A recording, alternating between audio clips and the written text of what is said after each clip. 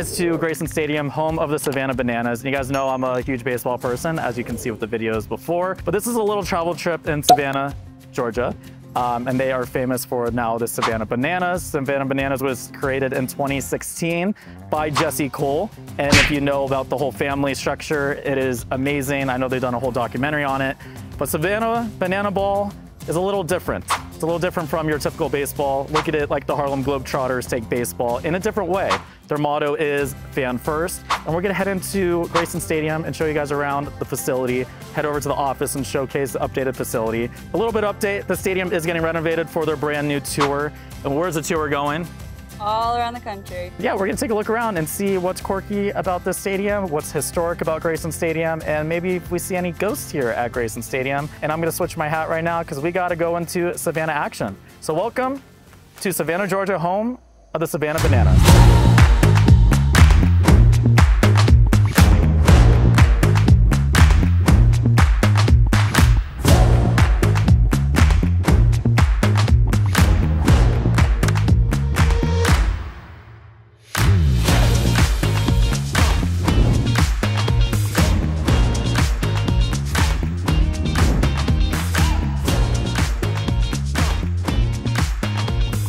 We are now in Grayson Stadium, home of the Bananas. They are getting a renovation right now, so it's not so pretty, but they're adding in new seats. Fun fact, Grayson Stadium is a historic landmark in Savannah, Georgia, so it is very difficult to update stuff when it's a landmark, especially when it's very historic. As you guys know, Savannah has had a lot of history between wars and the very past, making it one of the spookiest ghost towns in the whole country and also the world. But Grayson Stadium is very unique to itself. We turn around, they are redoing the backstop and all the seats. But there's something unique about the stadium that really sticks out to me, especially from the broadcast side, is the press box. Look at the press box right here. It is just floating. And Aubriana actually works up there during games for marketing. And let's see if we can see. That is how you get up there. You walk up these stairs, you come up the little catwalk, and it goes right in to the press box. We're not gonna go up there right now. She says it's a little sketchy and also renovating, so we're not gonna mess around. But something very unique about the stadium. The stadium has a ton of history to it. Had a ton of teams come through here that have not been successful trying to play summer baseball and uh, you know the summer ball leagues for college players to the independent leagues. And none of them have done well until the Savannah Bananas came into effect and uh, the Cole family wanted to change things up. They wanted to make it different. Banana Ball is completely different. It's unique. It pissed off everyone in Savannah. And what did people think about it? It will fail, but when you put your mind to it and you want to change things up and make things different and make something unique into the world, people officially catch on. And that's what happened. Banana Ball became a thing and created this marvelous field. Good answer.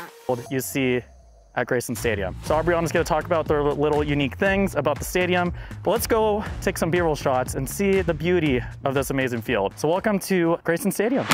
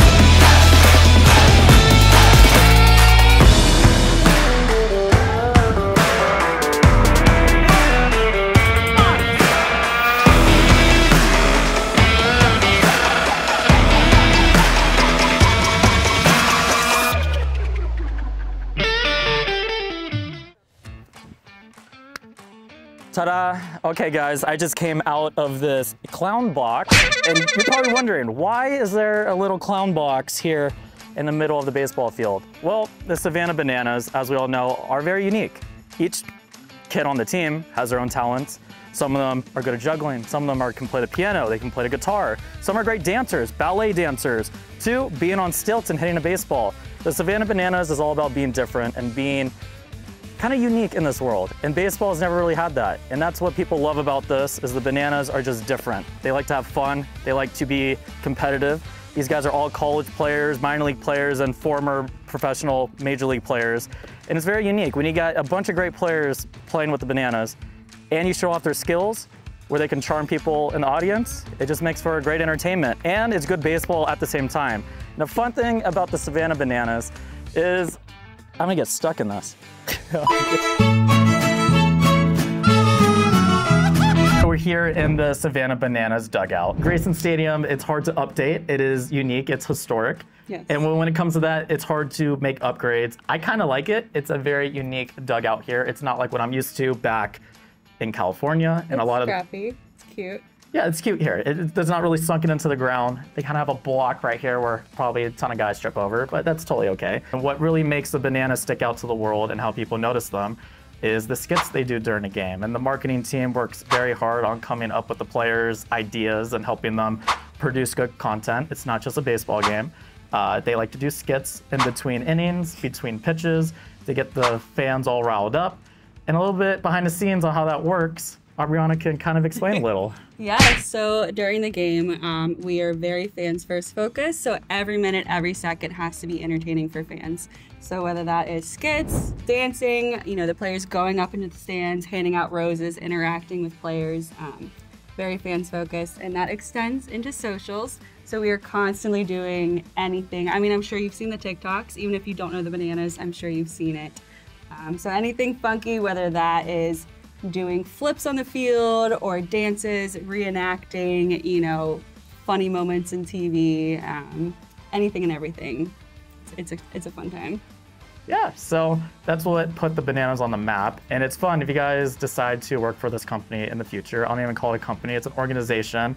It's a place where family comes first, fans comes first, and the players maybe come second. I'm joking. Because a little opposite from a typical professional hmm. team, where the players are the first and fans are third. But this is a fan first organization. They care about, they have unlimited food deals. If you pay your ticket, you get unlimited food, which she was explaining to me yesterday is very unique. I don't know how they do that. And I no fees either. We don't put fees on the tickets. yeah, so a uh, little compliance working with Major League Stadiums because they want the money through their concession stands. Well, the Bananas team is fighting that and wants it for the fans. So if you guys attend a game at any of the professional stadiums, say thank you to that organization that owns the stadium because uh, they had to go through a lot of hoops to stick to their plan. The Bananas are different, they stick to their fan base, and they want to make a change in baseball and organization. So as you can see, they are renovating Grayson Stadium, pretty unique.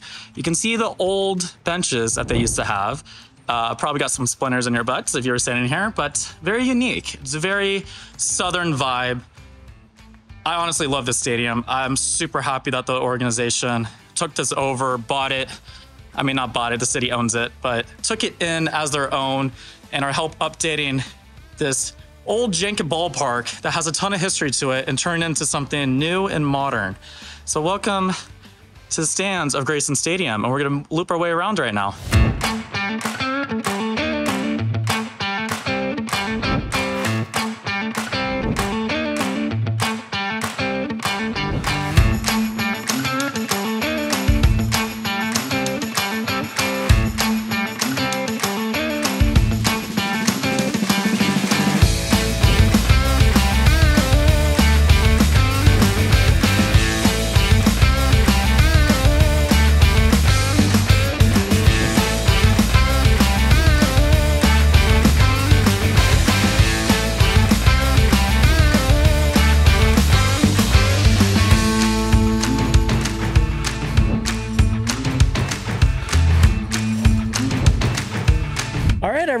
So you just saw a quick video of Grayson Stadium, and look, there's some seats and some benches updated right now. We are in the future. We are about four months into the future on St. Patrick's weekend, and the Bananas just finished up at LSU.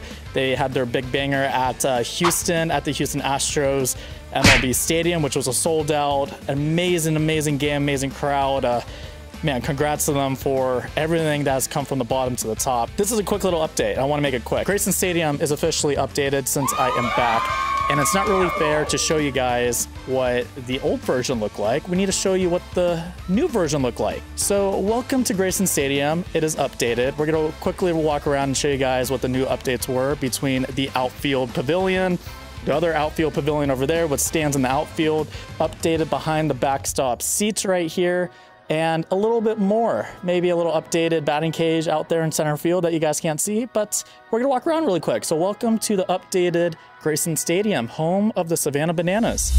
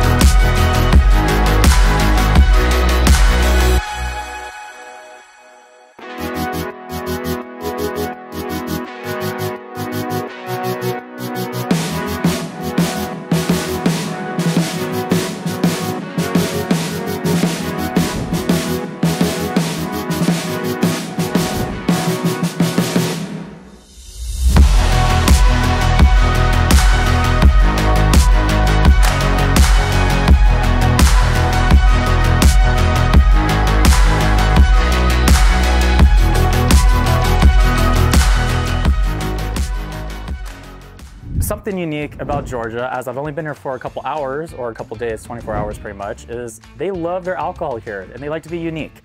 Bananas like to do it different too.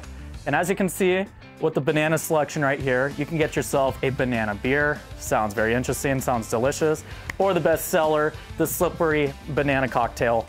I don't drink alcohol, so I wouldn't be able to tell you if it's good, but I was told through friends and people that I met yesterday, it is very delicious. And don't forget, the party animal, punch. And yes, you're talking about who the heck are the party animals? Well, it's not just the Savannah Bananas here. They have the party animals, and they just released their brand new team, the Savannah Firefighters, which Aubriana wants me to try out. You guys know I did play college baseball, and maybe I will try out. Maybe I'll do some content stuff for them. But maybe I'll be on both sides. Who knows? Who knows where life will take us?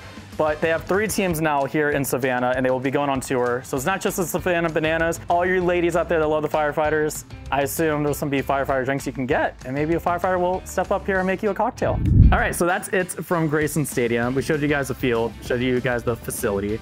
And you need to come out here and check out a game in Savannah, Georgia. But they are going on tour, and Aubriana is going to tell you about the tour and the new tickets that are coming out and the deals what you guys can do to see the firefighters, the party animals, and the bananas on tour. So take it away. Yeah, so we had our first ever live draft this year. It was amazing. It was incredible. I want to say we had over 2 million uh, views to our lottery system within an hour, and we already had like 300,000 signups. So if you're looking for tickets, what you do is you go ahead and find the lottery list put your name in, and then applications will open about two months before the game um, that you can go ahead and try and grab tickets. They are a little bit limited, so go ahead and hop on that now if you are interested. Um, and if you are a big fan, you can sign up for a K Club next year, and then you can get early access to tickets. So when Jesse Cole first bought the team, he basically sold everything, his house, and a big story where it was, a, it was a, you know, trying to make the American dream, uh, make, make the American dream happen. And the office was inside the stadium in a little tiny office. Well, they've upgraded to outside the left field behind it in a brand new building. We're gonna head over there right now and showcase. Maybe one day you guys can work for the Bananas and help grow this office, but it is a little bit getting renovated upstairs. We'll show you you guys downstairs in the facility, and Aubriana will teach you a little bit more about it. Yes, I will.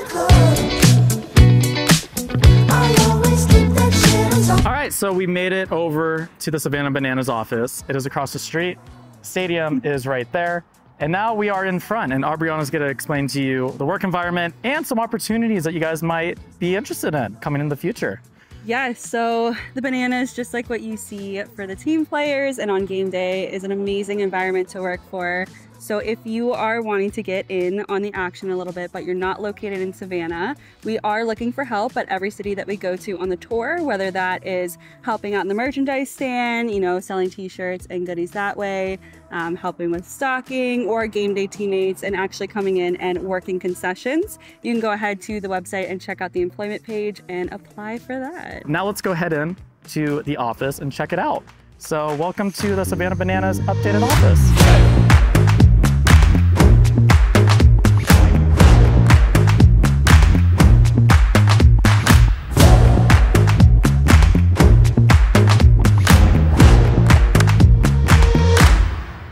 That was the Savannah Bananas, and welcome to Savannah. The trip is going to start now. Talk about our sponsor, My Whistlebox. My Whistlebox is a doubly encrypted service that allows you to keep your private information safe and exchange information securely between parties.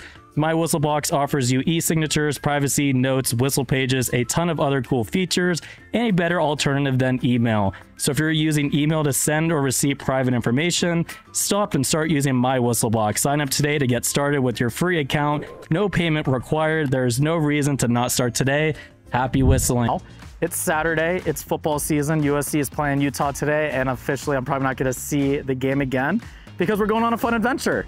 Where are we going? We are going on a ghost tour. If you know about Savannah, you know that it is the most haunted city in the United States. So very spooky. It's Halloween season. We are taking a ghost tour in a used hearse. So. yeah, a used hearse. So I am not looking He's forward to that. scared. I don't He's really scared. deal with ghosts. This will be interesting. So we're going to showcase that tonight.